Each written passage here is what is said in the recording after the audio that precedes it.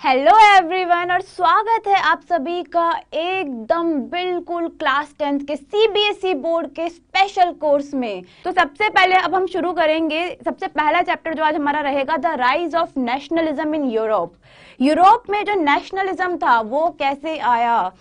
आगे है हमारा जो चैप्टर क्या कहता है? The rise of nationalism in Europe Europe में नेशनलिज्म कैसे राइज हुआ? अब यूरोप ठीक है भाई नेशनलिज्म टर्म क्या है? नेशनलिज्म क्या टर्म है? ये टर्म कहाँ से आई? होती क्या चीज़ है? मतलब ये बला क्या है? ऐसी भाई कि इतना टफ सा वर्ड है, क्या है? कि हम क्या मतलब समझते हो? फटाफट से कमेंट्स में बताओ, कभी नेशनलिज्म टर्म सुनी है?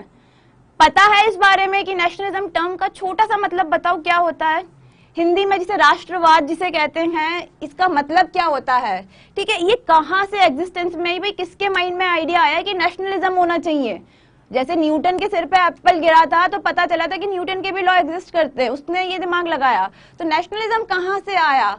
और ये यूरोप से इतना क्यों रिलेटेड है? भाई, हम यूरोप से क्यों स्टार्ट कर रहे हैं? इंडिया से क्यों नहीं शुरू कर रहे सबसे पहले?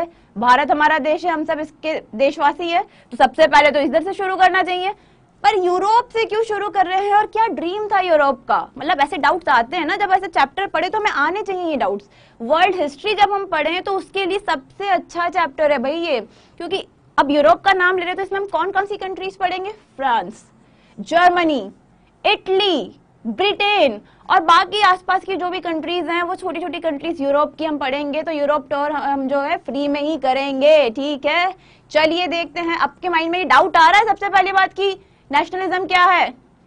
आया कुछ माइंड में कि क्या डेफिनेशन होती है? चलिए आगे देखते हैं कि बेसिकली होता क्या है ये। मैं आपको बताऊँगी कि नेशनलिज्म का डेफिनेशन क्या है। बट उससे पहले ये इमेज देखिए। ये इमेज आई होप सबको क्लियरली दिख रही होगी। ये चार इमेजेस है हमारे पास। चार अलग अलग इमेजेस हैं। वन टू थ्री फोर एक सीरीज़ है चार पेंटिंग्स की। जिसे किसने बनाया है? फेडरिक सोरियो ने। फेडरिक सोरियो कौन थे? वो मैं बताऊँगी बट ये चार इमेजेस देख रहे हो अलग अलग इधर लोग मर रहे हैं, यहाँ पे रैली निकल रही है बहुत बड़ी सी, ऊपर से भगवान आ रहे हैं। तो ये जो इमेज है, हम इस इमेज के बारे में आज डिटेल में पढ़ेंगे, क्योंकि ये काफ़ी अच्छी इमेज है। यहीं से जो है पूरा नेशनलिज्म अपने माइंड में आएगा कि भाई क्या इमेज है नेशनलिज्म की, क्या नेशन स्टेट्स होते हैं, क्या मॉडर्न मॉडर्न नेशंस होते हैं, ये सारी चीज़ें मॉडर्न स्टेट्स होते हैं, ये सारी चीज़ें होती, जो है हम पढ़ेंगे। तो चलिए इस इमेज को हम पढ़ते हैं डिटेल में। ये इमेज ये आप जैसे ही एनसीईआरटी ओपन e करोगे तो फ़र्स्ट चैप्टर में पहले ही पेज पे हमारे पास ये इमेज दिखती है। अभी इमेज आई होप सबको क्लियरली दिख रही होगी। इस इमेज के अंदर अपनी, जिसको नहीं दिख रही है एक बार अपनी एनसीईआरटी ओपन e करी तो ये इमेज में देखिए, ये एक स्टैचू दिख रहा है, जिसके हाथ में एक मशाल है, और यहाँ पे कुछ रूल बुक्स हैं। ऊपर जो है हमारे जीसस क्राइस्ट हैं अलग अलग कंट्रीज़ के फ्लैग्स हैं, लोग रैलियाँ निकाल रहे हैं।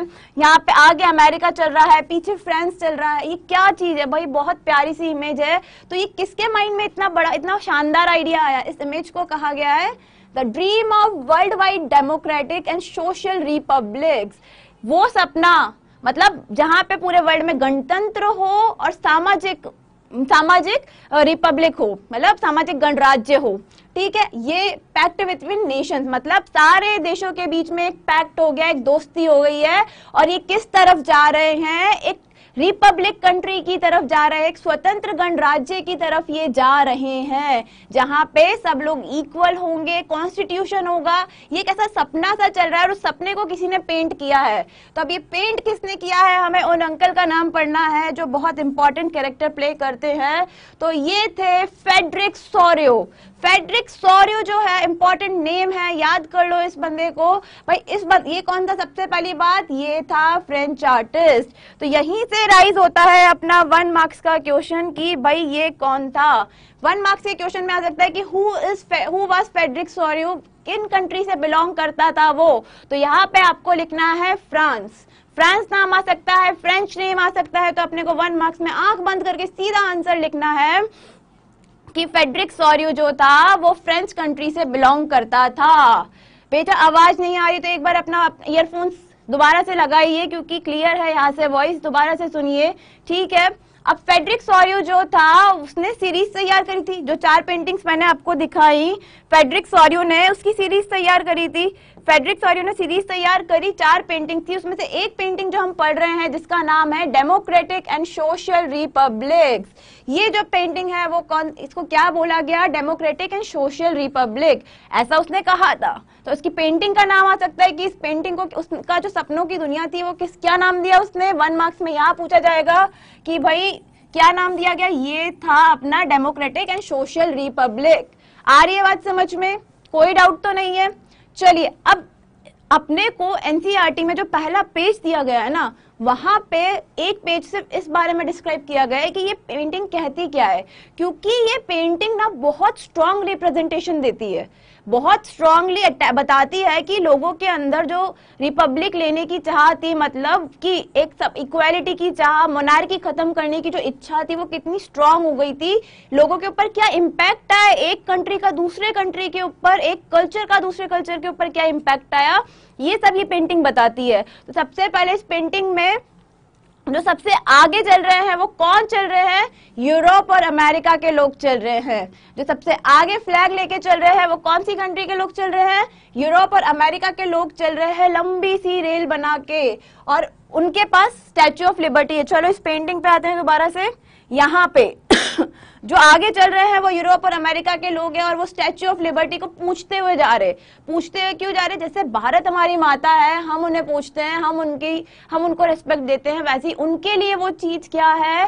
स्टैच्यू ऑफ़ लिबर्टी अब एक नाइन्थ क्लास का जो सीन है नाइन्थ क्लास में जब हमने फ्रेंच रिवोल्यूशन पढ़ा था तो ये स्टैच्यू ऑफ़ लिबर्टी अमेरिका को किसने गिफ्ट किया था? फ्रांस ने गिफ्ट किया था। जब अमेरिका अमेरिका को रिपब्लिक मिला था, आज़ाद हुआ था अमेरिका कॉलोनाइजेशन से तो वहाँ पे फ्रांस ने उसकी हेल्प करी थी। अब जब फ्रांस ने उसकी हेल्प करी थी तो गिफ्ट में उसने क्या दिया था? उसको स्टैच्यू ऑफ़ लिबर्टी वो जो नहीं आती, आंटी ऐसे मशाल लेके खड़ी रहती है ऐसे करके तो वो वाली आंटी जो है, ठीक है? अब इसके बाद है कि उसके होमेज मतलब ऑफरिंग होमेज मतलब अपनी पूजा अर्पण करना, कुछ ऐसे रिस्पेक्ट देना लाइक हाथ जोड़ के जो रिस्पेक्ट देते हैं ना, जैसे हम भगवान के आगे जाके करते हैं, वैसे रिस्पेक्ट देना स्टैचू ऑफ़ लिबर्टी को। इसके बाद एक फीमेल एक आंटी खड़ी हैं, जिनकी एक हाथ में टॉर्च है, कुछ एनलाइटन कर रही हैं वो, और दूसरे हाथ में क्या है? Charter of rights of man ये हमने कहा पढ़ी थी? फ्रेंच रिपब्लिक में फ्रेंच रिवोल्यूशन में पढ़ी थी कि उन लोगों ने वो बताया था कि भाई फ्रेंच फ्रांस जब हम फ्रांसीसी क्रांति पढ़ रहे थे या फ्रेंच रिवोल्यूशन पढ़ रहे थे लिबर्टी मतलब होता है बेटा आज़ादी। मतलब कि आप अपने लिबर्टी इज़ लाइक कि आज़ाद हो आप आप अपने डिसीजंस ले सकते हो खुद। ठीक है? अब इसके बाद होता है कि फीमेल फिगर जो मैं बता रही थी आपको, वो क्या थी? फीमेल फिगर थी, फ्रेंच जब हम फ्रेंच रिवोल्यूशन पढ़ रहे थे, तब जब फ्रांस आज़ाद हुआ था, फ्रांस में जब कॉन्स्टिट्यूशन आया था तो हमने कुछ सिंबल्स पढ़े थे नाइन्थ क्लास में। तो उन सिंबल्स में से ये एक वो आंटी थी जिनके पास था टॉर्च एनलाइटन का मतलब है कि मतलब अब यहाँ पे रिपब्लिक आ गया है। और दूसरे हाथ में क्या है? जो भी लॉ है और जो भी राइट्स हैं किसी भी मैन के, वो सारे उन्होंने ले रखे हैं। तो इससे क्या डिपेक्ट होता है यहाँ पे? कि इन लोगों को अब रिपब्लिक राइट्स या कॉन्स्टिट्यूशन यहाँ पे आ गया है। इक्वालिटी यहाँ पे आ गई है। हाँ बेटा थोड़ी सी हरविंदर तबियत खराब है बट इट्स ओके पढ़ाना ज़्यादा इंपॉर्टेंट है, क्योंकि ये कोर्स हमें फिनिश करना है। ठीक है? कि कोर्स फिनिश करके जल्दी से जल्दी आपको रिवीजन करवाना है ताकि कोई भी मार्क्स कटने का स्कोप ही ना बचे। ठीक है? रिपीट करूँ? बेटा, क्या रिपीट करना है? मुझे ये बताइए कि क्या रिपीट करूँ? मैं मैं आपको सब कुछ रिपीट कर दूँगी। जो टॉपिक आपको नहीं समझ आया है, ठीक है? अभी तक जो मैंने पढ़ाया जो फेडरिक सॉर्यू थे, उन्होंने चार पेंटिंग्स की एक सीरीज़ बनाई थी। ठीक है, अब उस पेंटिंग में जो पहली पेंटिंग है हम उसके बारे में पढ़ रहे थे कि भाई यहाँ पर एक जो आगे जो रैली में चल रहे हैं अमेरिका और यूरोप के लोग चल रहे हैं, जिन्हें ऑलरेडी रिपब्लिक मिल चुका है, जिन्हें फ्रीडम मिल चुकी है, जहाँ पर रिवोल्यूशन हो चुके हैं, वो अपने स्टेच्यू ऑफ़ लिबर्टी को पूछते हुए जा रहे हैं आगे।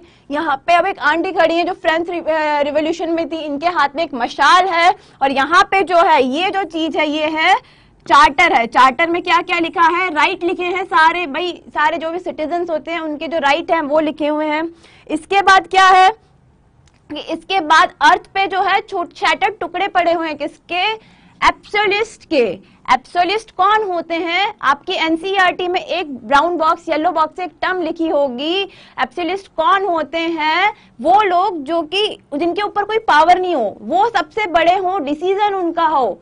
हिंदी में कहें तो निरंकुशवादी मतलब ऐसा राजा जो जिससे जिसको किसी से डर ना हो मतलब किसी से भी डर ना हो, जो सारी पावर हो, वो सिर्फ़ उस राजा के पास में हो, वो जो चाहे वो हो। जिसको कोई दया भाव ना हो, जिसके मतलब जिसने ऑर्डर दे दिया तो ऑर्डर दे दिया। मतलब आप हिटलर का एग्ज़ाम्पल ले सकते हो यहाँ पे। जैसे हिटलर हिटलर से सब डरा करते थे। क्योंकि हिटलर क्या करता था? हिटलर ने जो ऑर्डर दे दिया, लोगों को एनी हाउ मानना ही पड़ेगा। तो एप्सलिस्ट के जो है, वो टुकड़े पड़े हुए हैं। देखो, यहाँ देखो, ये जो टुकड़े पड़े हुए हैं मतलब ये क्या डिपिक्ट कर रहे हैं? अब कोई भी मोनार्की या कोई भी राजशाही या तानाशाही नहीं चलेगी। आई बात समझ में? ये टुकड़े इसलिए पड़े हुए कि हमने इन्हें खत्म कर दिया है, टुकड़ों में टुकड़ों में डिवाइड कर दिया है, ये खत्म हो चुके हैं, ये इनके टुकड़े रह गए हैं बस। ठीक है? चलिए, अब इसमें क्या है? सॉरी उन्हें उतोपियन विजन दी। उतोपियन विजन क्या होती है? ये दोनों टर्म हाईलाइट करे हुए हैं क्योंकि वन मार्क्स में आपसे पूछ लिया जाएगा कि एप्सोलिस्ट का मतलब क्या होता है या फिर उतोपियन का मतलब क्या होता है? What is the meaning utopian depict क्या करता है? उतोपियन मतलब होता है मोनार्की मतलब होता है बेटा राजशाही। राजा का जो शासन चलता आ रहा है डेट इज़ मोनार्की ठीक है?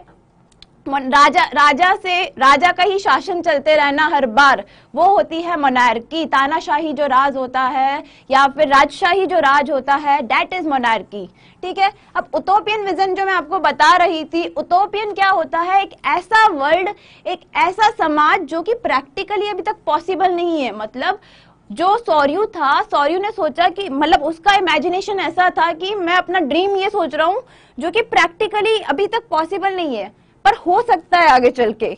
अब सपोज़ करो, आप सोच रहे हो कि प्रैक्टिकली पॉसिबल क्या नहीं है? हमारा उतोपिया क्या होगा? हम उड़ने लगे।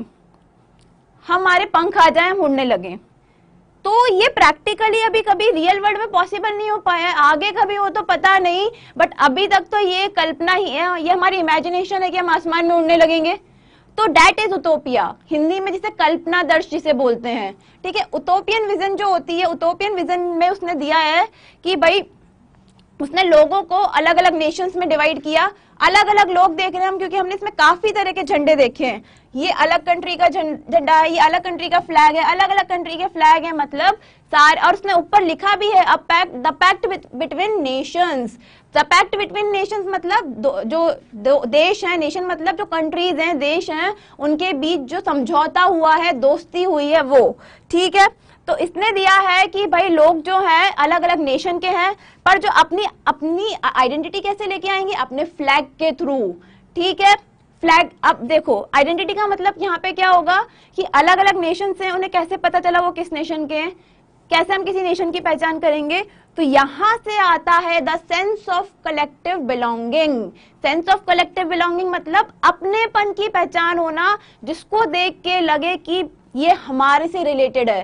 जैसे कभी मूवीज़ देखते हैं हम मूवीज़ में कोई इंडियन जो है फॉरेन कंट्री में जा, जैसे कभी खुशी, कभी गम में देखा था अपन ने, जब शाहरुख खान शाहरुख खान के घर में ऋतिक रोशन रहने जा रहा होता है तो काजोल को करीना कपूर कैसे इम्प्रेस करती है? कि वो भारत से आया है। भारत हमारा देश है, वंदे मातरम। तो क्या फील आई वो हमारी? सेंस ऑफ़ कलेक्टिविटी बिलोंगिंग ये हमारा है। ये हमारा चीज़ है तो वो फील कैसे आएगी? अपने नेशनल फ्लैग से आएगी नेशनल कॉस्ट्यूम से आएगी। तो उस रैली में कौन कौन लोग चल रहे हैं? उस रैली में जो भी लोग चल रहे हैं, वो अपना नेशनल फ्लैग लेके चल रहे हैं, अपने अपने कॉस्ट्यूम्स लेके चल रहे हैं, अपनी अपनी नेशनल कॉस्ट्यूम में चल रहे हैं। बेटा क्विज आएगा, पढ़ तो लो पहले थोड़ा सा। क्विज खेलने के लिए बैठे हुए हो। एक बार पढ़ तो लो, थोड़ा आइडिया तो ले लो। ठीक है, इसके बाद जो आप उतोपियन सोसाइटी के लिए केशव बिल्कुल सही आप कह रहे हो कि वो एग्जिस्ट नहीं कर सकती है, पर हम सोसाइटी का ऐसा विजन लेके चलते हैं। बिल्कुल सही कह रहे हो आप ये वाली बात। ठीक है। तो अब क्या था कि इसके बाद यूएसए आगे चल रहा है। यूएसए के पीछे कौन चल रहा है? कंट्रीज़ याद रखो। स्विट्जरलैंड उसको फॉलो कर रही है फ्रांस जर्मनी उसको भी जर्मनी को कौन फॉलो करी Austria kingdom of two Sicilies Sicilies जो किंगडम होता है, वो कभी इटली का पार्ट हुआ करता था। ये दो अलग अलग किंगडम थे नेपल्स और सिलिसिलिस सिलिसी तो इन दोनों ने अपने आप को कंबाइन किया। तो kingdom of two Sicilies Lombardy Poland England Ireland Hungary and Russia तो ये पूरी ऑलमोस्ट जो यूरोपियन कंट्रीज़ है, वो सारी एक जुलूसना निकाल रही हैं रैली निकाल रही हैं। ठीक है, अब ऊपर से देखो, यहाँ से जो है जीसस क्राइस्ट वहाँ पे अब भगवान विष्णु तो हो नहीं सकते वहाँ पे फॉरेन की बात कर रहे हैं अपन वहाँ पे। तो जो जीसस क्राइस्ट है और भी जो भी एंजल्स हैं, संत, महात्मा लोग हैं, सब ऊपर से इस अद्भुत नजारे को देख रहे हैं, सब देख रहे हैं कि भाई, ये जो ये जो चीज़ है, ये जो वर्ल्ड है, वो कितना अच्छा वर्ल्ड है और ये किस चीज़ का संदेशा दे रहा है भाईचारे का? द आर्टिस्ट ने क्या सिंबलाइज किया है? फ्रेटर्निटी अमंग द नेशंस जो भी देश है, उनके बीच में भाईचारा। पॉइंट फोर दोबारा से रिपीट करना है। Okay in Sorrieu's utopia vision the people of world are group as distinct nation identified through their flags and national costumes. तो भाई उतोपियन नेशन मैंने आपको बताया कि एक ऐसी उतोपियन क्या होता है? एक ऐसी सोसाइटी का विजन जो बहुत ही आदर्श सोसाइटी है। असली में वो पॉसिबल नहीं है एग्जिस्ट करना। इतनी आदर्श सोसाइटी है कि कोई बुरी बात नहीं होगी, कुछ भी गलत काम नहीं होगा। ऐसा पॉसिबल ही नहीं है कि कहीं गलत काम ना हो। ये बहुत आइडियल सिनेरियो होता है। तो जो सौर्यू का विजन है, वो इतना आइडियल है कि उसमें लोग जो हैं अलग अलग ग्रुप में डिवाइड किए गए हैं। अलग अलग अलग ग्रुप में डिवाइड करने के बाद वो लोग अपने देश के झंडे लेके चल रहे जैसे आप परेड देखते हो, जब पंद्रह अगस्त पे परेड हो रही होती है, दिल्ली में परेड हो रही होती है तो जो भी आर्मी वाले होते हैं, हर एक टुकड़ी अपना एक फ्लैग लेके आती है। कोई स्टेट वाला होता है, वो अपने आप को रिप्रेजेंट करता है तो अपनी कॉस्ट्यूम में आता है। तो वैसे ही इस जुलूस में भी क्या हो रहा है अपने अपने जो कंट्री के फ्लैग हैं, वो ये लोग लेके आ रहे हैं। कॉस्ट्यूम मतलब होता है बेटा कपड़े, जो अपन पहन रहे हैं। जैसे जब गुजरात में जाते हैं तो वो जो घाघरा चोली पहनते हैं, वो साड़ी पहनना जो होता है, वो कॉस्ट्यूम होता है इंडिया का कल्चर होता है तो वो, ठीक है? तो इससे क्या हो रहा है फ्रेटर्निटी मतलब होता है भाईचारा, ठीक है? तो ये वाली चीज़ है कि इस, ये इमेज के ऊपर से संत महात्मा देख रहे हैं, और आर्टिस्ट क्या कह रहा है, ये जो नज़ारा है, ये जो, ये चीज़ क्या सिंबलाइज करता है क्या डिपेक्ट करता है, क्या समझाता है? Fraternity among nations of the world मतलब देश पूरी दुनिया के देशों के बीच में कितना अच्छा भाईचारा है। लोग कितने मिलजुल कर प्यार से, सद्भाव से रह रहे हैं। ये जो है, ये इमेज हमारे को ये समझा रही है। ठीक है, आई बात समझ में? कोई डाउट चलिए क्विज खेलते हैं। तो क्विज का पहला सवाल है nationality of the artist Frederick Soriu, who visualized his painting of society made up of democratic and social republic. जो आर्टिस्ट था फ्रेडरिक सॉरियू वो किस कंट्री से किस नेशन से बिलोंग करता था जिसने पेंटिंग बनाई थी डेमोक्रेटिक एंड सोशल रिपब्लिक की आपके ऑप्शन है Germany B Swiss C French D American तो फटाफट से बताइए, वो कौन सी कंट्री का आर्टिस्ट था जिसने ये पेंटिंग बनाई थी? इसलिए मैं कह रही थी कि बच्चे वन मार्क्स में पूछ लिया जा सकता है तो इसका जो सही आंसर है डेट इज़ फ्रेंच या फिर फ्रांस भी हम लिख सकते हैं डिपेंड दोनों में से जो भी ऑप्शन आपको मिले, ये सही है कि फ्रांस या फ्रेंच में से फ्रेंच आर्टिस्ट था ये। ठीक है? आई बात समझ में? चलिए emergence of nationalism in Europe Europe के अंदर नेशनलिज्म कहाँ से आया? यूरोप में कहाँ से शुरुआत हुई नेशनलिज्म की? अच्छा बेटा फिफ्थ पॉइंट समझ में नहीं आया है वाहिद, मैं आपको रिपीट कर देती हूँ एक बार फिफ्थ पॉइंट जो फिफ्थ पॉइंट है from the heaven above Christ saints angels gaze at the scene मतलब ऊपर आसमान में से अब इसको ना रामायण का सीन इमेजिन करो कि राम सीता की शादी हो रही है जो जैसे राम सीता की जब शादी हो रही होती तो आसमान से जितने भी देवता होते हैं, क्या करते हैं?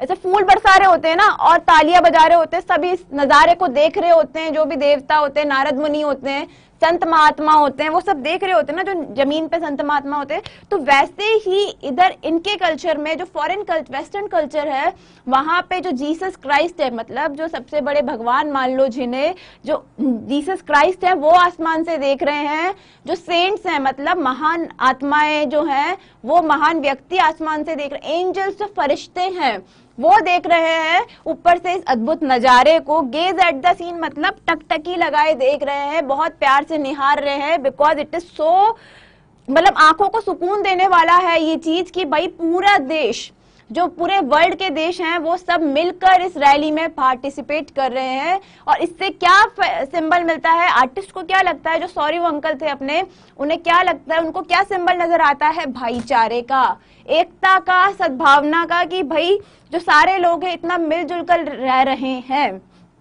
तभी तो उसने बोला था, ये उतोपिया सोसाइटी है। यही तो बोला था उसने। ठीक है, चलिए अब और कोई डाउट अब देखते हैं emergence of nationalism in Europe emergence of nationalism in Europe में क्या होगा कि नेशनलिज्म जो चीज़ थी, वो कैसे राइज हुई यूरोप के अंदर? कौन कौन सी कंट्रीज़ थी? सबसे पहली बात तो मैंने अभी आपको स्टार्टिंग में कंट्री बताई थी कि कौन सी कंट्री जो थी नेशनलिज्म के अंदर यूरोप में आएँगी कौन कौन सी जो कंट्रीज़ हम पढ़ेंगे डेट इज़ फ्रांस पढ़ेंगे सबसे पहले फ्रेंच रेवोल्यूशन पढ़ेंगे थोड़ा सा क्लास नाइन्थ में जाएँगे इटली के बारे में पढ़ेंगे, ठीक है? इसके बाद हम ब्रिटेन के बारे में पढ़ेंगे, इसके अंदर जर्मनी के बारे में पढ़ेंगे कि इन जो कंट्रीज़ में है, वो नेशनलिज्म कहाँ से आया? कौन सी कंट्री का इन्फ्लुएंस किस कंट्री पे आया? ठीक है, चलिए। अब देखते हैं कि ओके सबसे पहले, बेटा रिपीट कर दूँगी, सारे पॉइंट्स रिपीट करूँगी डोंट वरी फॉर दैट चलिए एक बार फिर से सिक्स पॉइंट देख लेते हैं। यही समझाया मैंने कि ऊपर से जो थे, सारे जो जीसस क्राइस्ट जो उनके भगवान थे, सब इस चीज़ को देख रहे थे। उनको बहुत अच्छा लग रहा था ये सीन उन्हें लग रहा था कि ये जो इमेज है या फिर ये जो रैली है, वो भाईचारे का प्रतीक है। सिंपल सी बात याद करिए। अब ये जो पढ़ाने जा रही हूँ, ये सबसे इंपॉर्टेंट है आज की क्लास में। जो मोस्ट इंपॉर्टेंट है, आपको यहाँ पे डाउट्स क्लियर करने सबसे ज़्यादा ज़रूरी है। तो इस चीज़ पे ज़्यादा फोकस करिए। सबसे पहले कॉपी में एक लाइन बनाइए, बीच में डिफरेंस वाली लाइन बनाइए। एक तरफ़ लिखिए नेशन स्टेट्स और दूसरी तरफ़ लिखिए मॉडर्न स्टेट्स जल्दी से फटाफट से लिखिए सब लोग, ठीक है? तो एक अपने को ये डिफरेंस समझना है कि नेशन स्टेट्स क्या होते हैं और मॉडर्न स्टेट्स क्या होते हैं। क्या डिफरेंस है? क्योंकि ये चीज़ समझ लोगे तो बेटा आप लोगों को समझ में आ जाएगा कि हम नेशनलिज्म क्या है? नेशंस कहाँ से आए? ये टर्म कहाँ से आई? ये वाली डिफरेंस अगर समझ में आ गए तो हमें ये समझ में आएगा कि क्यों लोगों को नेशन स्टेट्स चाहिए थे मॉडर्न स्टेट्स नहीं चाहिए थे। ठीक है? क्यों लोगों को जो मल्टी डायनेस्टी वाले रूल थे मल्टी नेशनल डायनेस्टी वाले एम्पायर्स थे, वो नहीं चाहिए थे, बल्कि नेशन स्टेट्स चाहिए थे। तो हमें इसके लिए बेसिक अपनी डिफरेंस जो है डेफिनेशन क्लियर करनी ज़रूरी है। तो फटाफट से लाइन खींच के लिखिए, एक तरफ़ मॉडर्न स्टेट और एक तरफ़ लिखिए नेशन स्टेट्स ठीक है? चलिए ये बात कब की हो रही है? नाइनटीन सेंचुरी की। तो जल्दी से इमरजेंस मतलब होता है राइज होना, किसी चीज़ का उदय होना। इमर्ज मतलब होता है बाहर उठ के आना। तो वही, राइज कैसे आया? उदय कैसे हुआ यूरोप के अंदर नेशनलिज्म का? बेसिकली ये बात कहना चाह रहा है। ठीक है? अब नाइनटीन सेंचुरी की बात है तो नाइनटीन सेंचुरी सबसे पहले बताओ। अगर मैं नाइनटीन सेंचुरी बोल रही हूँ तो मैं किस टाइम की बात कर रही हूँ? जैसे हम बोलते हैं ट्वेंटी फ़र्स्ट सेंचुरी चल रही है तो मैं किस टाइम की बात कर रही होती हूँ? नाइनटीन सेंचुरी मतलब जो 1800 से 1900 तक का जो पीरियड रहता है डेट इज़ नाइनटीन सेंचुरी ठीक है? आई बात समझ में? ठीक है, अब नाइनटीन सेंचुरी के टाइम पे क्या था कि नेशनलिज्म जो है, एक फोर्स की तरह आया। फोर्स की तरह मतलब एक बल की तरह आया कि लोगों में लहर आई इस चीज़ की। कि नेशनलिज्म चाहिए, राष्ट्रवाद चाहिए। मतलब लोगों को, लोगों, और वो जो लहर थी पूरे यूरोप में इस तरीके से फैली से आंधी आती है ना, कि आंधी एक जगह से आई, पूरे एरिया में फैलती चली गई। वैसे ही नेशनलिज्म की एक आंधी आई और उसने लोगों के माइंडसेट चेंज कर दिया माइंडसेट मतलब आपकी मेंटेलिटी सोचने के आपके जो थॉट्स हैं, वो पॉलिटिकल कंडीशंस है, वो मानसिक और जो पॉलिटिकल कंडीशन तो राजनीतिक कंडीशंस तो ये सब जो चीज़ें हैं, वो चेंज कर दी। ठीक है? आई बात समझ में? ये था कि nationalism emerge as the force which broad sweeping changes in political and mental world of Europe मतलब यूरोप के लोगों की मानसिक और राजनीतिक कंडीशंस या फिर जो सोच थे जो उनके विचार थे, एकदम से लहर की तरह आए और पूरा चेंज करके चले गए। ठीक है? अब हाँ बिल्कुल बेटा स्क्रीनशॉट ले सकते हो इसका। आराम से लो इस चीज़ का स्क्रीनशॉट लो। इम्पोर्टेंट चीज़ है ये। इसीलिए ये चीज़ मैंने हाईलाइट भी करी है क्योंकि यही हमें इम्पोर्टेंट याद रखनी है। ठीक है? अब जब ये चेंजेस आए, जो पॉलिटिकल और मेंटल चेंजेस आए, उसकी वजह से क्या हुआ? इन चेंजेस की वजह से यूरोप में राइज हुआ इमरजेंस हुआ नेशन स्टेट का। इमरजेंस कह लो, जिसको ये टर्म याद नहीं रहती है, हम इसे कह लेते हैं rise rise of nation state ये लिख लो आप, कोई दिक्कत नहीं है अपने को इसमें। इमरजेंस बहुत भारी भारी वर्ड लग रहा है तो हम यहाँ पे राइज लिख लेंगे। ठीक है? नेशन स्टेट्स का। अब नेशन स्टेट्स क्या थे? किसकी जगह उन्होंने रिप्लेस करी? सबसे पहले तो नेशन स्टेट्स जो थे, उन्होंने रिप्लेस किया मल्टीनेशनल डायनेस्टीज को। डायनेस्टीज कौन? जो साम्राज्य होते थे, जो राजा के जो साम्राज्य हुआ करते थे, उन सबको उन्होंने रिप्लेस किया। ठीक है? अब बताओ, सबसे पहली बात मतलब ऐसा होता था ना कि एक एरिया है सपोज़ करो हमारा ये एक एरिया है। इस पे एक राजा इधर से राज कर रहा है, एक इधर से आक्रमण हो रहा है, इधर से एक राजा राज कर रहा है। और या फिर एक ऐसी जगह जहाँ पे दो दो राजाओं का भी राज हो रहा है। तो सबसे पहली बात, जब लोगों के माइंडसेट चेंज हुए तो उन्होंने बोला, हमें सिर्फ़ एक राष्ट्र चाहिए, एक देश चाहिए, हमें ऐसे मल्टी नेशन डायनेस्टी नहीं चाहिए। जो होगा, हमारा एक होगा। मतलब यूनिटी चाहिए, एक ही चीज़ चाहिए। मॉडर्न स्टेट्स और नेशनल स्टेट्स का डिफरेंस हिंदी में। बता रही हूँ बेटा, वही बता रही हूँ। नेशनल स्टेट्स का मीनिंग भी बता रही हूँ। ठीक है। अब इसके बाद होता है कि मॉडर्न स्टेट क्या था? मॉडर्न स्टेट वो स्टेट है, सबसे पहले मॉडर्न स्टेट के बारे में पढ़ेंगे, तभी नेशन स्टेट क्योंकि नेशन स्टेट एक स्टेप आगे का स्टेट है। तो हम पहले पुराना वाला तो पढ़ ले कि क्या चीज़ है। तो मॉडर्न स्टेट वो स्टेट है जिसमें एक ही के पास पावर होती है। आपका एक पर्टिकुलर एरिया है मतलब इतना आपका एरिया है सपोज़ कर लो, ये आपका राज्य है, आपके पास पूरी पावर है। सेंट्रलाइज पावर जो होती है, वो एक के पास ही रहती है। सोवेरियन कंट्रोल मतलब किसी एक तानाशाह के पास। सोवेरियन मतलब होता है कोई भी किंग को ले लो क्वीन को ले लो, या फिर वो जो भी यहाँ पे राज करता है ना, उस बंदे को ले लो। सोवेरियन मतलब ये होता है। तो मॉडर्न स्टेट क्या हुए? मॉडर्न स्टेट ये हुए कि किसी सेंट्रलाइज पावर मतलब सेंट्रल से समझो। ये ये अपना हाथ है, यहाँ पे ये सेंटर है। तो जो सारी पावर रहेगी, वो इस सेंटर पे रहेगी। आ रही है बात समझ में? इस सेंटर वाले बंदे के पास रहेगी और सेंटर में कौन होगा? टॉप क्लास जो बंदा होगा टॉप पे बंदा होगा। टॉप पे कौन? राजा या रानी? वही हो सकता था उस टाइम पे। पुराने टाइम पे तो राजाशाही शासन ही चलते थे ना? जो राजाओं के शासन थे, वही चलते थे। तो जो मॉडर्न स्टेट है, वहाँ पे पावर किसके पास रहेगी? राजा के पास पावर रहेगी। जो भी वहाँ पे राज कर रहा होगा, तानाशाह राजा हो गया, राजशाही राजा होगा, उसी के पास जो रहेगी, ये सारी पावर रहेगी। जो भी अथॉरिटी होगी, वो उसी के पास होगी। सेकेंड पॉइंट बच्चा रिपीट कर देती हूँ, कोई दिक्कत नहीं है। The end result of these changes were emergence of national state in the place of multi national dynastic empires अब इस तरीके से समझो। यूरोप में अलग अलग कंट्रीज़ थी। सिंपल भाषा में चलेंगे। अलग अलग कंट्रीज़ थी। अलग अलग कंट्रीज़ में जैसे एक देश है, एक देश के ऊपर कोई दो राज, दो राजा थे, वो राज करें डायनेस्टी मतलब होता है कि जो राजशाही होती है। राजशाही इन द सेंस राजाओं का जो साम्राज्य होता है वो चीज़ समझ लो। साम्राज्य जो होता है मुगल डायनेस्टी जिसे हम कहते हैं तो मतलब मुगलों का जो साम्राज्य था वो। बर्बन डायनेस्टी बर्बन का जो साम्राज्य था वो। वो टाइम पीरियड जिसमें किसी एक पर्टिकुलर बंदे ने आके राज किया वैसा। तो ऐसा था कि कोई ऐसे एक कंट्री है कंट्री मान लो उस कंट्री में दो अलग अलग राज, राजा हैं वो राज कर रहे हैं। या फिर राजाओं की ज़बरदस्ती चल रही है।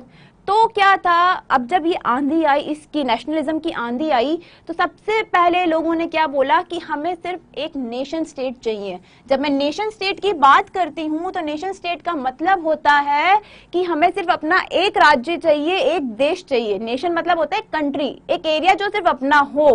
ठीक है? तो ये जो होता है, लोगों ने बोला, यूरोप के लोगों ने क्या बोला? हमें अपना नेशन स्टेट चाहिए, हमें ये मल्टी डायनेस्टी रूल वाला सिस्टम नहीं चाहिए। ठीक है? आई बात समझ में? दोबारा समझाऊं तो फटाफट से बताओ मुझे कि नेशन स्टेट वाली बात सेकंड पॉइंट समझ में आया? ठीक है। नेशन दोबारा से एक बार मैं बोल देती हूँ फिर से कि जब ये आंधी आई, जब ये लहर आई नेशनलिज्म की तो लोगों के माइंड में आ गया कि भाई, अब हमें नेशन स्टेट चाहिए। हमें ये मल्टी नेशनल डायनेस्टी वाला एम्पायर जो है, ये सब हमें नहीं चाहिए। अब देखते हैं मॉडर्न स्टेट मॉडर्न स्टेट का क्या कैरेक्टरिस्टिक बताया मैंने? मॉडर्न स्टेट में जो पावर होती है, वो एक के पास ही होती है। किसी एक बंदे के पास जो टॉप पोजीशन पे होता है, उसी के पास। तो यही बोला गया है centralise power exercise sovereign control मतलब किसी राजा का कंट्रोल हुआ करता था उसकी अपनी टेरिटरी पे। उसका जो डिसीज़न हो गया, वही फाइनल हुआ करता था। लोगों का डिसीज़न में इसका कोई रोल नहीं होता था। ठीक है? यहाँ पे ये काफ़ी टाइम से चल रहा था, ये पुराना मेथड था। तो हो गए दो पॉइंट नेशनल स्टेट में क्या होता है? जो मेजोरिटी ऑफ़ के सिटीजन हैं वो होते हैं। मतलब लोग अपने लिए राजा, खुद मतलब अपने लिए गवर्नमेंट जो हम चूज़ कर रहे हैं ना, जैसे आज हमारा चल रहा है सिस्टम कि वोटिंग होती है इलेक्शन होते हैं, तब जाके हमारी सरकार बनती है। तो वैसा ही ये कहना चाह रहा है कि नेशनल स्टेट में क्या होता था कि मेजोरिटी ऑफ़ जो उसके सिटीजन होते थे, वो कोई राजा वगैरह नहीं होते थे, बल्कि एक, उनकी एक आइडेंटिटी होती थी, उनके पास अपनी एक पहचान हुआ करती थी। वो राजा के लिए नहीं हुआ करते थे, वो देश के लिए हुआ करते थे। यहाँ पे बात समझो। मॉडर्न स्टेट में क्या हो रहा है कि आपके लिए राजा सब कुछ है, राजा आपका भगवान है। नेशनल स्टेट में क्या हो रहा है? ये देश आपके लिए सब कुछ है, देश आपकी प्रायोरिटी है मतलब देश आपके लिए, देश के लिए मर मिटेंगे, वो वाली सिचुएशन आ रही है बात समझ में? जल्दी से बताइए, ये पॉइंट आया समझ में? दोबारा से रिपीट कर दूँगी। दोबारा से चलिए आगे देखते हैं। कि एक बार और ठीक है, फटाफट से देख लेते हैं कि भाई मॉडर्न स्टेट और नेशन स्टेट्स में क्या क्या होता है। मॉडर्न स्टेट्स में अपने पास नेशन स्टेट्स में वो होते हैं कि नेशन स्टेट में हमारी एक खुद की आइडेंटिटी होती है जो देश के लिए होती है। एक कॉमन आइडेंटिटी देश में चाहे हज़ार लोग रहें, चाहे दस हज़ार लोग रहें, सबके लिए जो एक रहेगा वो देश रहेगा। सर्वोपरि जो सबसे ऊपर रहेगा वो देश रहेगा। मॉडर्न स्टेट में जो सारी पावर रहेगी वो राजा के पास रहेगी। चलिए आगे देखते हैं लास्ट जो थिंग है वॉट इज़ अ नेशन देश क्या है? राष्ट्र क्या है? नेशन मतलब राष्ट्र। तो आपके एनसीईआरटी में एक ब्राउन कलर का एक पैराग्राफ है, बहुत छोटा सा बॉक्स बना हुआ है, उसके अंदर ये चीज़ बताई गई है कि व्हाट इज़ नेशन तो एक हमारे वही फ्रेंच फिलोसोफर थे अर्नेस्ट रेनान तो उन्होंने क्या करा था? 1822 में, क्या करा? 1882 में सॉरी 1882 में उन्होंने एक डेफिनेशन दी राष्ट्र क्या एक यूनिवर्सिटी के अंदर अपना लेक्चर दे रहे थे। तब उन्होंने समझाया। बाद में उनका ये पेपर भी पब्लिश हुआ। तो उस पेपर का नाम था क्वेस्ट सी क्यू ए नेशन। इस चीज़ को इतना इंपॉर्टेंटली याद रखने की ज़रूरत नहीं है। यहाँ से हम रेनन के अकॉर्डिंग डेफिनेशन समझेंगे। क्या होता है? वॉट इज़ नेशन राष्ट्र क्या है? रेनन ने बोला सबसे पहली बात, वो लोग जो कि भेदभाव करते हैं, जिन्हें लगता है कि कॉमन नहीं होना चाहिए, उन सबको उसने क्रिटिसाइज किया कि जिन लोगों को लगता है कि वो सबसे ऊपर है नेशन उनके बाद में है, वो लोग अच्छे नहीं हो सकते, वो लोग कभी नेशन बना ही नहीं सकते। आई बात समझ में? ठीक है, उसके बाद उसने बोला कि अब वो क्या डेफिनेशन बता रहा है, वो समझो। वो कह रहा है कि नेशन कैसे बना? देश या राष्ट्र कैसे बना? आपके जितने भी पास्ट के एंडेवर्स मतलब होते हैं एक्सपीरियंसेस जो भी आपने एक्सपीरियंस किया, ठीक है? एक्सपीरियंस जो भी किया, जैसे कि आपने पास्ट में ये, जैसे आपके दो दोस्त, आप दो दोस्त बचपन से लेके आपने जितने भी उतार चढ़ाव देखे बेटा, तानाशाह क्या होता है जो अपनी मर्ज़ी की चलाता है? तानाशाह मतलब ज़बरदस्ती, अगर आप उसका रूल नहीं मानोगे, उसकी बात नहीं मानोगे तो वो आपको कोई भी सजा दे सकता है और कोई उसके खिलाफ आवाज़ भी नहीं उठाएगा। ठीक है? आई बात समझ में? ठीक है? अब क्या होता है कि, बेटा लास्ट थिंग है नेशन अपन पढ़ के कल से जो, कल की वाली क्लास है, उसमें फ्रेंच रिवोल्यूशन पढ़ेंगे, क्योंकि बहुत इंपॉर्टेंट टॉपिक जो कल से शुरू होगा। तो इसलिए मुझे मॉडर्न स्टेट और नेशनल स्टेट बताना पड़ा, क्योंकि इसके बाद ही चीज़ें आगे बढ़ पाएँगी। तो हमारे को क्या बोला, रनन ने बोला कि कोई नेशन कब बनेगा जब वहाँ पे पास्ट एक्सपीरियंस हो, लोगों के सेक्रीफाइस हो मतलब लोगों ने बलिदान दिया हो उस देश के लिए, उस जगह के लिए, आपका उस देश में भक्ति हो। जैसा अभी आप सब कमेंट में बोल रहे थे ना, प्यार हो प्राइड हो, उस देश के लिए बलिदान दिया हो उसने, वो देश उसके लिए सब कुछ हो तो वो चीज़ होती है नेशन वो चीज़ मिलके बनाती है नेशन डिवोशन मतलब भक्ति होना उसके लिए। ठीक है? पास्ट हो अच्छा खासा, बहुत बड़े आदमी हो, यहाँ पे ये सब मिलके बनाते हैं नेशन। यहाँ पे इसने एक इंपॉर्टेंट टर्म बोली थी प्लेबिसिटे प्लेबिसिटे क्या होती है? प्लेबिसिटे जो होती है प्लेबिसिटे इसने क्या बोला? A nation is therefore large scale of solitary and its existence of daily plebiscite. अब इसने बोला, एक तो उसने डेफिनेशन बताई ये वाली कि यहाँ पे पास्ट हो, सबका, सबने सेक्रीफाइस किया हो देश के लिए। आ रही बात समझ में? ठीक है, इसका, इस सब्सिक्वेंटली एंड एंटाइटल्ड एंटाइटल्ड मतलब होता है किसी से जुड़ा हुआ होना। ठीक है? मैं इस चीज़ को रखने के लिए एंटाइटल्ड हूँ। मतलब कि ये चीज़ मेरी है, मैं इस पे हक जमा सकता हूँ। ठीक है? सब्सिक्वेंटली मतलब होता है नेक्स्ट या फिर उसके आसपास जो चीज़ होती है। ठीक है? तो to have a common glories in the past to have common wills in the present to have the perform great deeds together तो अब यहाँ पे क्या कर रहा है? दूसरी डेफिनेशन क्या होती है नेशन की? दूसरा कैरेक्टरिस्टिक क्या होता है? कि भाई, हमारा पास्ट कॉमन हो पास्ट की कहानियाँ कॉमन हो, हम प्रेजेंट में भी एक ही जैसी सोच रखते हो जो कि देश का भला हो, ठीक है? हम अच्छे काम करने के लिए साथ में आए तो वो चीज़ क्या होती है? नेशन के लोगों के लिए ज़रूरी होती है। क्या कैरेक्टरिस्टिक बता रहा है कि कौन से लोग नेशन के लोग कहलाएँगे? जिसका सेम पास्ट हो। मतलब आपने पास्ट में से एक जैसी लड़ाइयाँ लड़ी हो। ठीक है, अब इसके बाद है कि आपका प्रेजेंट जो है प्रेजेंट में काम करने की इच्छा सेम हो। आप अच्छा काम करने के लिए देश में आगे जा रहे हैं। डेट इज़ नेशन के लोगों का करेक्टरिस्टिक होता है। तब उसने बोला कि यहाँ पे एग्जिस्ट करती है प्लेबिसिटी प्लेबिसिटी होता है जनमत संग्रह मतलब लोगों की इच्छा के अकॉर्डिंग प्लेबिसिटी का मतलब होता है कि डायरेक्ट वोट के साथ जो है सिटीजन जो एक्सेप्ट कर सके और रिजेक्ट कर सके कोई भी चीज़। आप सपोज़ करो आपकी गवर्नमेंट ने कोई प्रपोजल रखा मतलब कोई भी रूल रखा तो प्लेबिसिटी से क्या होगा? अगर प्लेबिसिटी का मतलब हुआ, ये फ्रेंच वर्ड जो होता है, इसका मतलब क्या होगा कि गवर्नमेंट ने कोई भी चीज़ रूल रखा, आपकी जो आप लोग है, जो जनता है, जो वोट देने लायक है मतलब अपन तो वोट दे नहीं सकते, आप लोग अभी वोट देने लायक बने नहीं हो एलिजिबल नहीं हो, जो वोट दे सकते हैं, वो उसको एक्सेप्ट करे या रिजेक्ट करे, वो जनता के ऊपर है, वो सिटीजन के ऊपर है। तो बेसिकली डेफिनेशन क्या होगी? ये ब्राउन बॉक्स में जो डेफिनेशन लिखी हुई है एनसीआरटी में plebiscite is a direct vote by which all the citizens of nation, of a region can accept or reject a proposal. दोबारा रिपीट करती हूँ। Plebiscite is a direct vote by which all the citizens of a region or a nation can accept or reject a proposal. आई बात समझ में हिंदी में समझाती हूँ। प्लेबिसिटे वो संग्रह होता है या वो पावर होती है बाय वे जहाँ से देश के सारे लोग मिलके किसी भी प्रस्ताव को, किसी भी आइडिया को या तो रिजेक्ट कर सकते हैं या एक्सेप्ट कर सकते हैं। आई बात समझ में। चलिए फटाफट से इसके बाद हम क्विज खेल लेते हैं एक बार। क्विज से चलिए क्विज खेल लेते हैं। क्विज का जो हमारा सवाल है pick out the correct definition for the term plebiscite मतलब प्लेबिसिट प्लेबिसिटी जो टर्म है, इसके लिए इनमें से कौन सी जो डेफिनेशन है, वो करेक्ट है एकदम। फटाफट से बताइए, जल्दी से बताइए कि प्लेबिसिटी मतलब क्या होगा। यहीं से ये जो छोटी छोटी टर्म्स है ना बेटा, यही वन मार्क्स पे लिखने को आती हैं। चलिए इसका आंसर मैं बताती हूँ। Plebiscite is a direct vote by which all the citizen of a region are ask to accept or reject a proposal यही चीज़ मैं आपसे समझा रही थी अभी तक। ठीक है? नेशनलिज्म और नेशन लास्ट थिंग जो है अपनी, कि भाई, ये नेशनलिज्म और नेशन नेशनलिज्म यहाँ से अभी तक हम नेशनलिज्म इन यूरोप पढ़ रहे थे, फटाफट बोल रहे बार बार बोल रहे थे नेशनलिज्म नेशनलिज्म तो क्या होता है भाई ये नेशनलिज्म नेशनलिज्म जो होता है, दो तरीके से अपन समझ सकते हैं।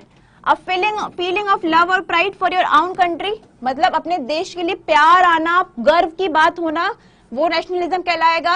आप को ये फीलिंग आए कि आपकी कंट्री सबसे ऊपर है, सर्वोपरि आपकी कंट्री है, सबसे ऊपर जो है, हमारा जो देश है, वो सबसे महान है। लाइक ईस्ट और west India is the best वो वैसी वाली थिंग ठीक है? दूसरे हम क्या बोल सकते हैं कि वो लोग जिनका सेम इंटरेस्ट हो मतलब जिनका क्रेज जिनकी कल्चर जाति, रंग भेदभाव उनसे कोई मतलब नहीं, उनके लिए जो सबसे ऊपर कॉमन इंटरेस्ट क्या है, वो अपना देश की भलाई है। सेकेंड डेफिनेशन हम ये बोलते हैं तो हमारे को यहाँ पे दो डेफिनेशन मिलती है नेशनलिज्म की, कि भाई, लोगों के अंदर नेशनलिज्म की फीलिंग का आना मतलब क्या होता है? कि हम यूरोप के लोग हैं इमेजिन कर लो हम यूरोप के लोग हैं, हमारे अंदर नेशनलिज्म की फीलिंग आई है। तो क्या मतलब हुआ कि हम यूरोप के लोग हैं हमारे लिए जो हमारा देश है, वो सबसे ऊपर है। और देश की जो गाथाएँ हैं, अच्छी बातें सुन के हमें बहुत गर्व फील होता है, हमें गर्व की फीलिंग आती है। ठीक है? अब बच्चे पूछ रहे थे प्लेबिसिटी का मतलब। प्लेबिसिटी मतलब बेटा वो होता है कि कोई भी देश है सपोज़ कर लो जैसे भारत है, भारत के पास लोगों का वो अधिकार जिससे वो गवर्नमेंट का कोई भी जो प्रस्ताव है गवर्नमेंट जो भी सरकार है, उसका कोई भी प्रस्ताव हुआ कि भाई गवर्नमेंट ने कोई लॉ निकाल दिया तो उसको एक्सेप्ट कर सकते हैं या उसको रिजेक्ट कर सकते हैं। Plebiscite is P L P L E B I S C I T E plebiscite is बेटा, चैतन्य, ये होता है कि जैसे कोई भी देश है, वहाँ के लोगों को, कोई भी रीजन है या कोई भी नेशन है तो वहाँ के लोगों को ये राइट है कि वो अपना कोई भी गवर्नमेंट का जो प्रपोजल होता है, या तो वो उसे एक्सेप्ट कर सकते हैं, या वो उसे रिजेक्ट कर सकते हैं। हिंदी में जैसे अपन न्यूज़ चैनल में सुनते हैं ना, जनमत संग्रह, जो लोगों ने, लोगों की इच्छा से, जनमत मतलब हो गया जो लोगों ने वोट दे के सिलेक्ट किया है, उसका रिज़ल्ट जो होता है, उसे ही कहते हैं प्लेबिसिटे नेशंस के बारे में एक और बार समझा देती हूँ मैं आपको नेशंस में क्या होता है? नेशन जो होता है नेशन का मतलब होता है राष्ट्र। हसन, ध्यान से सुन लीजिएगा। नेशन का मतलब होता है राष्ट्र या देश। देश, अब ये कैसे बनेगा? जब आपके पास जो होगी सेम फीलिंग होगी। आपके अलग अलग जगह अलग अलग कंट्री के लोग रह लें। यहाँ से समझो। नेशन जब समझाया था व्हाट इज़ नेशन तो हमारे को रनन ने क्या कहा था कि रनन ने बोला था कि सबसे पहली बात नेशन कब बनेगा?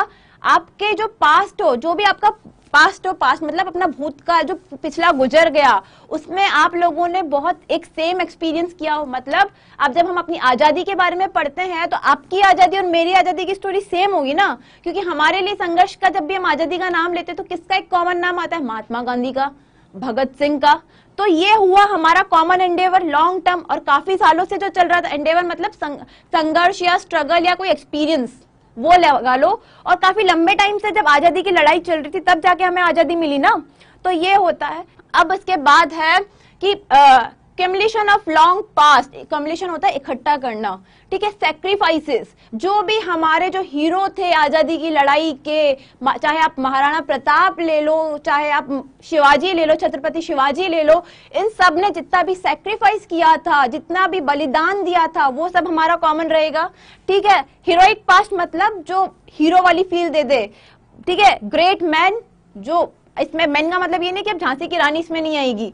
जो भी हमारे हीरो रहे आज़ादी की लड़ाई के, वो सब, ठीक है ग्लोरी मतलब होता है जिसे आप गर्व से कह सको कि या, ये हमारा देश है। ये हमारा भारत जो है, सोने की चिड़िया है। ठीक है क्यूमुलेशन बताया बेटा, इकट्ठा होना। ठीक है, अब इसके बाद है, एक और पॉइंट जो आपने बोला था कि पहली डेफिनेशन तो नेशन की ये हो गई कि नेशन क्या कहलाएगा, जिसके पास लॉन्ग पास्ट हो एंडेवर्स का सेक्रीफाइस और डिवोशन हो। दूसरी चीज़ क्या हो, उसके जो हीरोइक कहानी हो उसकी वहाँ पे। ठीक है, ये जो होता है नेशनलिज्म का आइडिया देता है नेशन का आइडिया देता है। सेकेंड पॉइंट क्या था कि to have the common glories in the past मतलब हमारी जो भी लड़ाई हो, वो कॉमन हो। मतलब अभी जो मैं आपको समझा रही थी कि आपके मेरे लिए जो एक स्टोरी है आज़ादी की वो सेम है कि एक जो महात्मा गांधी ने संघर्ष किया, जवाहरलाल नेहरू आए, सुभाष चंद्र बोस आए, ऐसा तो नहीं है ना किसी की स्टोरी में लॉर्ड माउंट आ गया। नेपोलियन तो नहीं आ गया ना किसी की स्टोरी में? हमारी आज़ादी की लड़ाई में तो यही लोग थे ना। नेपोलियन तो फ्रेंच में था ना तो ये कॉमन हुआ। ठीक है, इसके बाद होता है लार्ज स्केल सॉलिडिटी मतलब होता है बेटा कि सॉलिडिटी मतलब कि आप उसके साथ मिलके खड़े हुए हो। सब मिलके खड़े हुए। हैं ठीक है, एक सॉलिडिटी मतलब होता है कोई एक। एक लार्ज स्केल सॉलिडिटी सब मिलके जो खड़े रहते हैं। Meaning of dynasty in English जेबा meaning of dynasty in English क्या कहेंगे डायनेस्टी टर्म को? कि जो तानाशाह लोग होते हैं मतलब इसको डायनेस्टी को इंग्लिश में क्या कहेंगे? अपन किंगडम जैसे कह लेते हैं। किंगडम एग्जैक्टली जो किंगडम होता है, उसे हम कह लेंगे, जैसे हम कहते हैं मुगल किंगडम या मुगल डायनेस्टी तो ये होता है साम्राज्य। साम्राज्य को अपन ने बोला इंग्लिश में, जो भी साम्राज्य मतलब कोई एरिया हो गया, कोई रीजन हो गया तो उससे कह देते हैं किंगडम ठीक है जेबा एप्सोलिटिज्म एप्सोलिटिज्म क्या होता है बेटा? हिंदी में इसे कहते हैं निरंकुशवाद। निरंकुशवाद मतलब कि किसी एक राजा, तानाशाही शासन जो चलता है मतलब तानाशाही राज्य राज्य जो चलता है, वो होता है निरंकुशवाद। मतलब अगर आप उस, वो सबसे ऊपर है। ऐसे इंग्लिश में समझो एप्सल्यूट मतलब क्या होता है? एप्सल्यूट मतलब होता है काफ़ी परफेक्ट होना। जो जो परफेक्ट होती, कोई भी चीज़ जो बहुत परफेक्ट हो वो। तो एप्सल्यूटिज्म यहाँ पे किसी उससे अच्छी, उससे बड़ी कोई चीज़ ना हो परफेक्ट तो सबसे लास्ट डिग्री होती है। तो उससे बड़ी कोई भी चीज़ ना हो तो वो तो एब्सोल्यूटिज्म मतलब हो गया कि जो है, वो जो तानाशाह है, वो सबसे बड़ा है, आप उसका जो लॉ और ऑर्डर है, वो क्रॉस नहीं कर सकते। ठीक है तो कल इसी टाइम पे सेम टाइम पे मिलते हैं, तब तक पढ़ते रहिए और डाउट पूछते रहिए।